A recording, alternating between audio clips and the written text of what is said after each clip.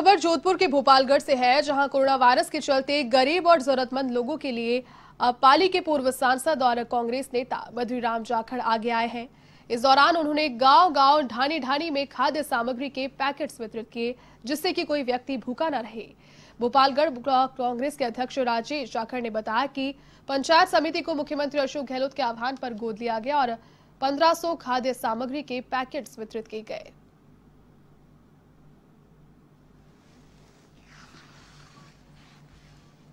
भारत में नहीं है, वर्ल्ड में जो तबाही मचाई है